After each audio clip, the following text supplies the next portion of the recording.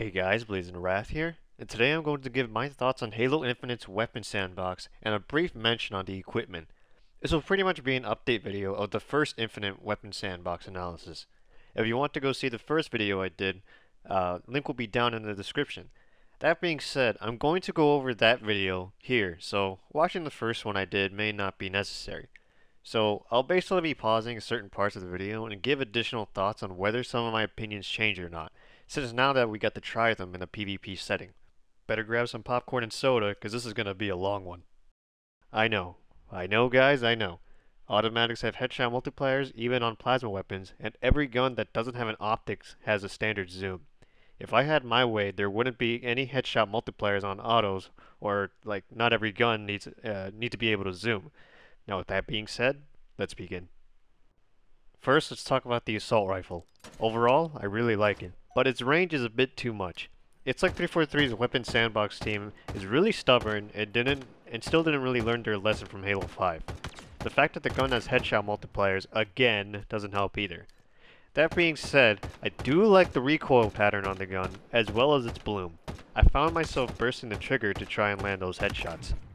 So here are the numbers on the AR, and here are my suggestions. As you can see, I would recommend nerfing its damage a bit, and probably increase the bloom because the weapon doesn't drastically spread until reaching near the end of the mag. I think the crosshairs should bloom a bit earlier.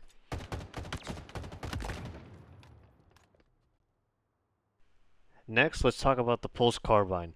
Overall, I like this weapon. However, its damage output is surprisingly high for, for a plasma weapon. But when actually using this against bots and real players, it's actually not bad, and it's just really good at stripping shields. So I probably wouldn't change the damage output despite it being, uh, the damage output being really high. With that being said, here are the stats I got, and here are my suggestions. Like I said, its damage output may be high on paper, but in practice it's just a shield stripper, and I really like that, and I think that's uh, what's fun about it. Also, because it's just a shield stripper, when using it in a real match, it's a great assist weapon. I was using the Pulse Carbine just, just stripping shields and constantly uh, kept switching to my sidekick. Or I just used it and let my teammates finish off uh, the other team. Probably the reason I'd recommend decreasing the tracking and increasing the projectile speed is because the Needler is already a tracking weapon alongside the charged plasma pistol shot.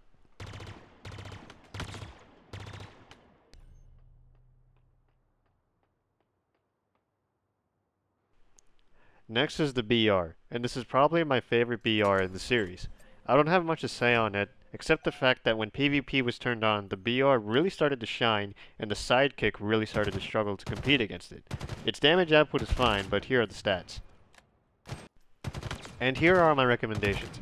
According to the game's menus, the BR has a 2.5 times scope, rather than its usual 2 times scope. So I recommend making it a 2 times zoom, just so the sidekick uh, can compete against it. Also, I know probably not everyone remembers Halo 4, but Halo 4's BR has a very subtle recoil mechanic where every time you pulled the trigger, the reticle moved up, but it never reset back to its uh, original position. Not sure about that change, but just thought I'd mention it. Let's pause here. Now, I did notice in the Flight 2 tech test that the descriptions for most weapons have changed, but I still think the scope is still a 2.5 times zoom. However, I think that's okay now, and I'll explain why when we get to the commando. I'm still unsure about the Halo 4 recoil mechanic. Uh, I personally have no problem with it, but I don't know. What do you guys think?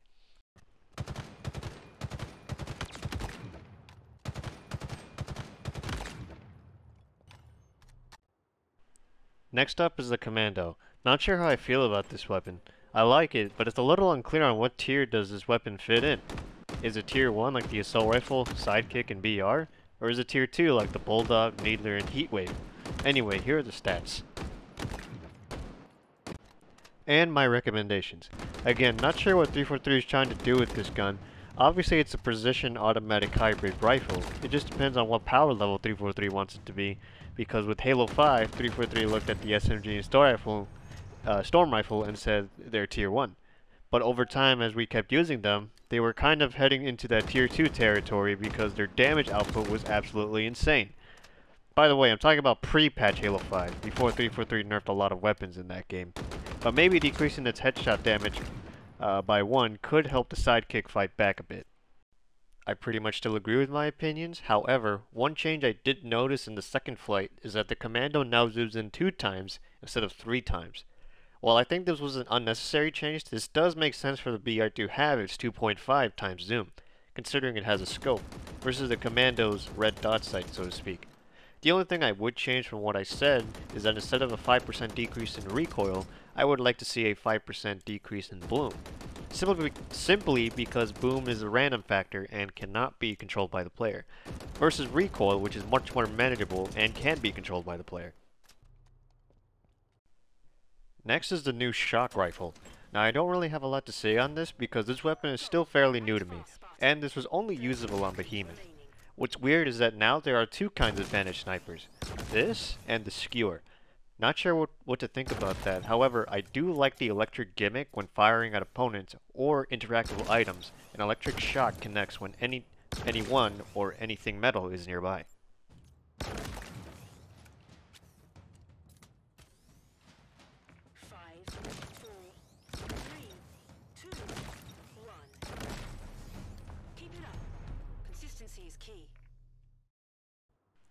Speaking of the sidekick, I really like this thing. It's the Halo 2 pistol, only if it was actually good. I do think it needs a little pick-me-up though, so here are the current stats. And here are my recommendations. I think these changes will help this gun fight against the BR and Commando. Probably have a probably have to slightly decrease the rate of fire so it doesn't outshine the AR at close range. A quick side note I want to get out there is that I've noticed a huge debate going on on Twitter talking about if the AR is good is, is uh, too good or not, or if it's fine the way it is. Look, the AR is supposed to be good at close and even at a solid mid-range. But even if you get that solid mid-range, you probably don't want to use the AR. That's when your pistol comes into play. If you're only using the AR in all your in all of your engagements, then that's a problem, and there wouldn't be a point uh, to have a pistol in the first place. Your pistol should be used at longer ranges and should be competing against other precision rifles.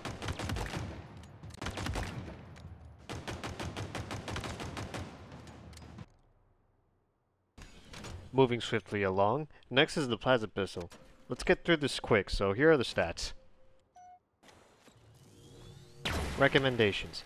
Now I know decreasing the body shot count down to 12 is controversial, but is it really that big of a deal? This is uh, this thing will always be a pea shooter no matter what. Besides, much like the Pulse Carbine, you'd probably want to use this to strip shields and, instead of health anyways. So my opinions pretty much still stand especially since now that it has been discovered that the PP does no longer EMP vehicles, much like in Halo CE. So now the plasma pistol really is a PP. The tracking on the charge shots is better than Flight 1, uh, however, the strength of the tracking isn't strong.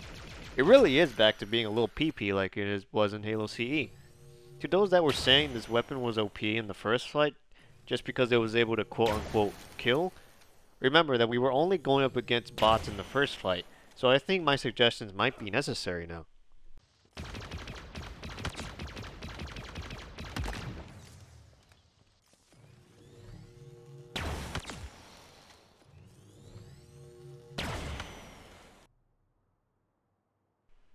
Next up is the Bulldog. And I know I was on that bag on that bandwagon of this thing replacing the classic shotgun we've had for years. However, this shotgun is different enough to where the classic shotgun could still have a place in the weapon sandbox. So here are the current stats.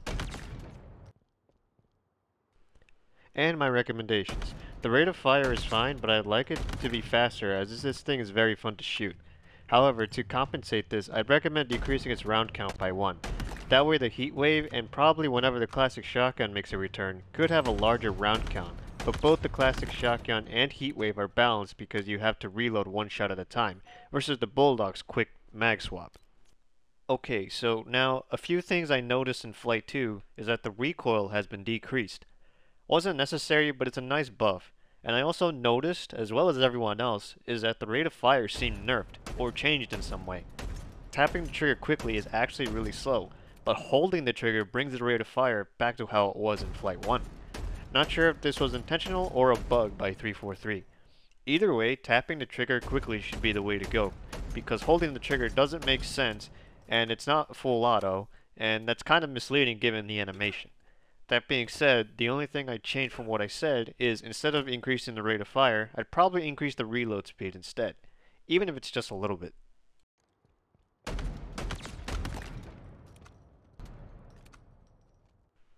Speaking of the heat wave, that's up next. This definitely feels like 343's definitive version of the scatter shot. It's definitely a very weird and unique shotgun. It makes you want to see other creative and gimmicky things they can do with their other Promethean weapons. So here are the stats. And here are my suggestions. Definitely need a damage buff because I had one instance where I shot a guy point blank and then went for a melee. I didn't kill him and I died. So that's why I think I could use a damage buff. Lastly, I think the alt fire needs a bit of a rework because the bouncing projectiles are unique, but they're nothing more than just a gimmick. Which is why uh, you see the recommendations on screen. The Halo 5 scatter shots bouncing projectiles homed in on the opponent on the opponent's like last location, and it was really nice. It wasn't overpowered, and it was reliable from time to time. I pretty much still stand with what I said, however, much like the Bulldog, the Heatwave suffered the same problem. The rate of fire has been drastically nerfed, and this weapon doesn't need any nerfs to begin with. Again, not sure if this rate of fire nerf was intentional or a bug, but definitely not needed. Other than that, my opinions still stand.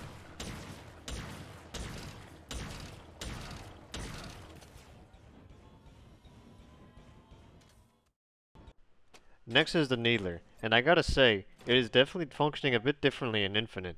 And by that I mean this thing is supposed to be a weird automatic with homing projectiles that explodes when multiple shots connect. But the weird thing about it is that this thing is an automatic weapon that ironically sucks at close range, but it's really good at long range. Here, in Infinite, uh, this thing is now basically an SMG, and that's not necessarily a bad thing. It still homes in at range, however, it's not as good like in previous games. It's kind of back to being shit like in Halo 1 and 2. So the solution to fix that was just to make it an SMG. And you know what? I think it's fine, and it's definitely fun to use. So here are the stats. My suggestions.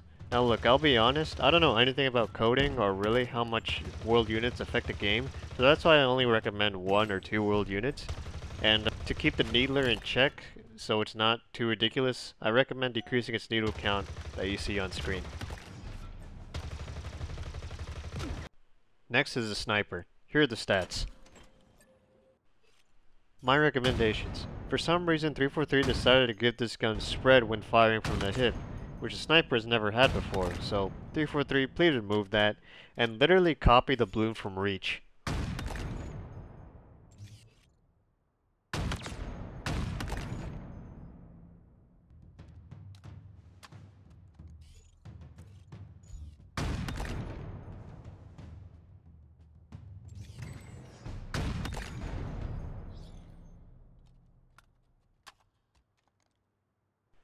Next is the skewer. This thing is awesome, but very difficult to use. I'm honestly not sure what to do with it, so here are the stats.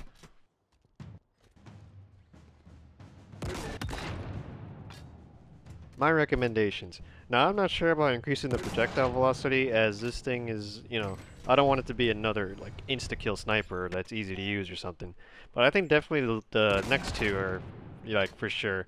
Like, because this this thing has a slow projectile velocity, the second zoom kind of feels useless, and also the, the amount the amount of red around the scope is a bit too cluttering, and you know clutters the vision too much. So I like to see the decrease in red coloring when zoomed in. I pretty much still agree with my opinions, and since we've been introduced to the shock rifle, I think the second zoom uh, should be removed from the skewer and will be much more useful on the shock rifle. And that's pretty much all, all I have to say on the skewer. Next is the Ravager. I thought this thing looked like shit when it was first revealed, and it was just a giant rectangle on screen. But 343 did a good job in adding more detail and more colors, so it looks fine now. But anyways, here are the stats.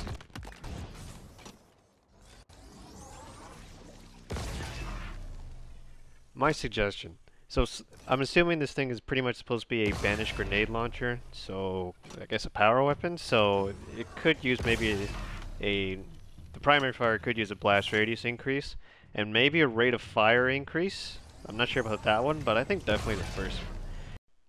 Okay, so some quick thoughts I'd like to give now that, that like I don't agree with anymore is my second suggestion. Uh, I don't agree with my second suggestion anymore. but I still agree with the first one. The Ravager could use a slight blast radius buff. I'd also like to mention that the charge shot actually worked in the second flight, and I think the charge shot is fine the way it is.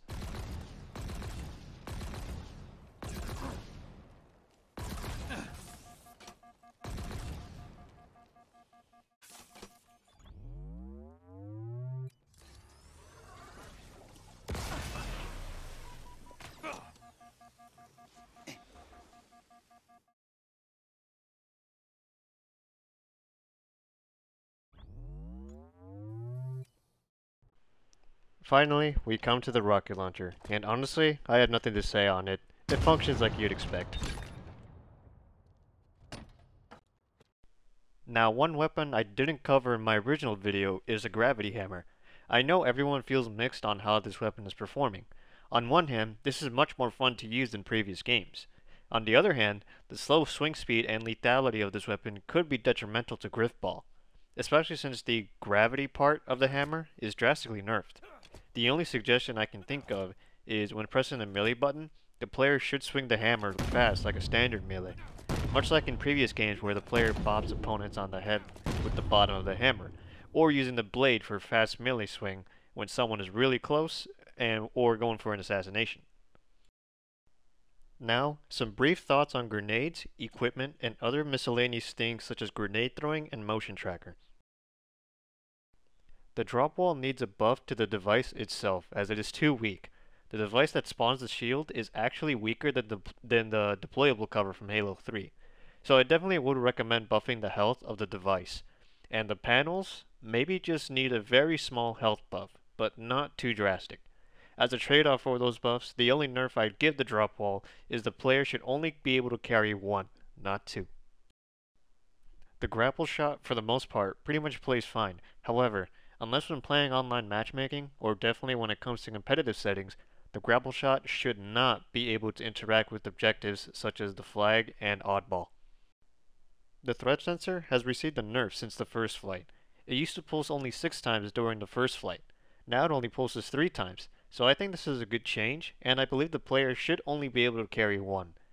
Lastly, just like I said in my original video, the threat sensor should not be able to stick onto players, as fun as that is to do. As for the overshield, I really do like the change in color in that now the when the player turns on overshield, they literally glow white and there's some electric effects around it. So I really like that change. However, the overshield itself is pretty weak. I think it's only one layer like it is in Halo 3 and Reach. So I think it needs to have two layers of shields, much like in MLG, Halo 3, and Halo Reach, as well as how it uh, performs in Halo 5. As for the camo power up, it pretty much works fine, and really the only issue that I have with it is that, uh, in at least in the second flight, when you're moving around, you do show up in radar like in previous games. However, I do like the Halo 5 change, and even in the first flight, where whenever you moved around, you did not appear on radar. So I'd really like that change to be reverted. Next, let's quickly talk about grenades. Now I know there were some people that felt that the game felt too grenade happy, and I think I may know uh, may have some speculation as to why that is. Okay, so first of all, the arena maps are pretty small minus Behemoth. The grenade throw input might be too fast when throwing two grenades consecutively, so maybe slowing down the grenade throwing animation a bit could help mitigate grenade spamming. The spike grenades still need a damage buff. To be more specific, the initial explosion of the spike grenade needs a buff. Not uh, not the spikes themselves, because in Halo 3, when a spike grenade is right next to you, or is, or if you're standing underneath it, the spike grenade actually killed you. Currently in Infinite, that's not the case, and instead leave you very weak. I think the initial explosion should be able to kill you, considering these are one of your special type of grenades. The dynamo grenades are pretty cool, and I like them. The only thing I'd like to see change is the damage output on health should be nerfed. Keep its damage output on shields, but it should not be good against unshielded players, unless you throw two of them consecutively. Lastly, something I want to mention briefly about the motion tracker is that the range has been nerfed from 20 meters to 18 meters. I don't think this was a good change. I believe 343 had it right the first time, so 20 meters would be the way to go for me, and I'd like to see that return. And that's going to do it for this video. If you made it this far, then holy fucking shit. Thank you so much and hit the living shit out of that like button. Share this video with anyone who'd be interested. You can also find me on Twitch and Twitter. Links will be down in the description. And until next time, peace.